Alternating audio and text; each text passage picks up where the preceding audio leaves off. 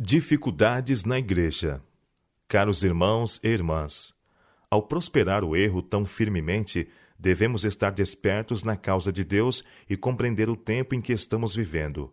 As trevas cobrirão a terra e densa escuridão os povos. E como praticamente todos ao nosso redor estão sendo envolvidos em densas trevas de erro e engano, compete-nos sair do torpor e viver próximo de Deus onde podemos captar raios de divina luz e glória da face de Jesus.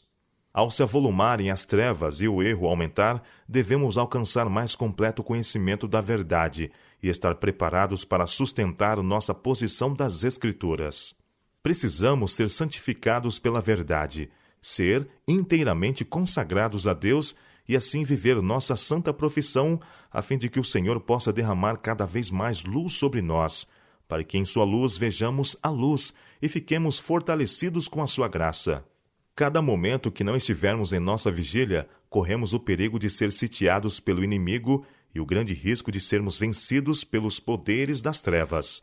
Satanás ordena a seus anjos que sejam vigilantes e derrotem a quantos possam, que descubram os pecados persistentes e teimosos dos que professam a verdade, e lancem trevas em torno deles, para que cessem de vigiar, adotem uma conduta que desonre a causa que professam amar e levem tristeza à igreja. As almas desses desorientados e desatentos tornam-se cada vez mais trevosas e a luz do céu neles empalidece. Não podem descobrir os pecados que os assediam, e Satanás lança sua rede sobre eles e são apanhados no laço. Deus é nossa força dele precisamos buscar sabedoria e direção, e tendo em vista sua glória, o bem da igreja e a salvação de nossa própria alma, precisamos vencer os pecados que nos cercam. Individualmente devemos procurar alcançar nova vitória cada dia. Temos que aprender a estar de pé sozinhos e depender inteiramente de Deus. Quanto mais cedo aprendermos isto, tanto melhor. Descubram cada um onde falha e então vigie fielmente, a fim de que seus pecados não vençam, mas seja ele o vitorioso. Então podemos confiar em Deus, e a igreja será salva de grande angústia. Os mensageiros de Deus, quando deixam seus lares para trabalhar pelas almas, despendem muito do seu tempo no trabalho por aqueles que têm estado na igreja por anos, mas ainda são fracos, porque desnecessariamente perdem o controle, deixam de vigiar sobre si mesmos e, penso eu algumas vezes, tentam o inimigo atentá-los. Eles se metem em alguma pequena dificuldade e prova, e o tempo dos servos do Senhor é gasto em visitá-los.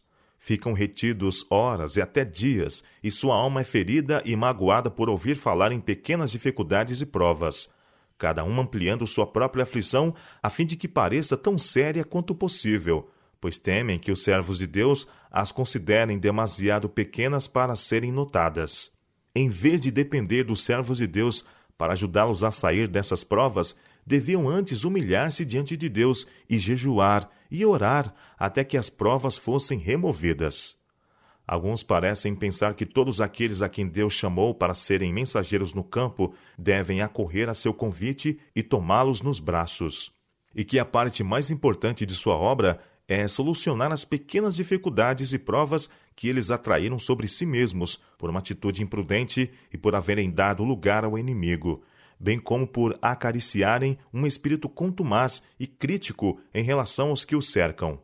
Mas onde estão neste tempo as ovelhas famintas? Perecendo por falta do pão da vida. Os que conhecem a verdade e nela foram estabelecidos não lhes obedecem se o fizessem, seriam livres de muitas dessas provas. Estão retendo os mensageiros de Deus, e o próprio motivo pelo qual foram chamados para o campo não é cumprido.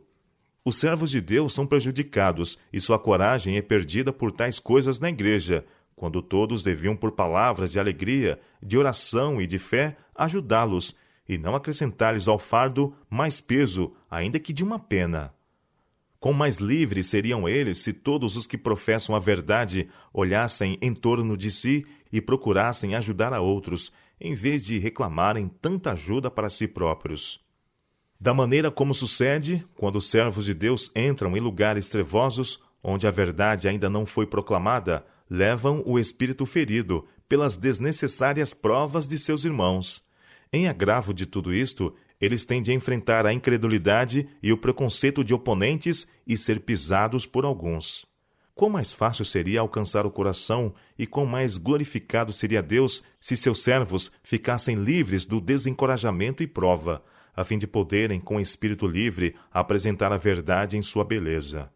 Os que têm sido culpados de requerer tanto labor dos servos de Deus, sobrecarregando-os com provas que eles mesmos deviam solucionar, terão de dar contas a Deus por todo o tempo e recursos despendidos para satisfazê-los, satisfazendo assim também ao inimigo. Eles deviam estar em situação de ajudar a seus irmãos. Nunca deviam transferir suas provas e dificuldades para sobrecarregar toda uma reunião, ou esperar até que alguns dos mensageiros venham para solucioná-las.